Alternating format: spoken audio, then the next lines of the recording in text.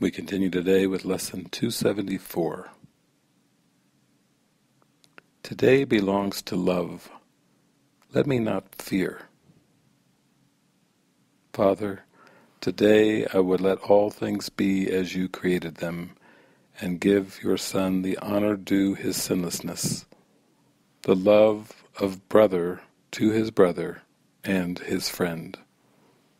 Through this I am redeemed. Through this as well the truth will enter where illusions were. Light will replace all darkness, and your Son will know he is as you created him. A special blessing comes to us today from Him who is our Father. Give this day to Him, and there will be no fear today, because the day is given unto love. Amen.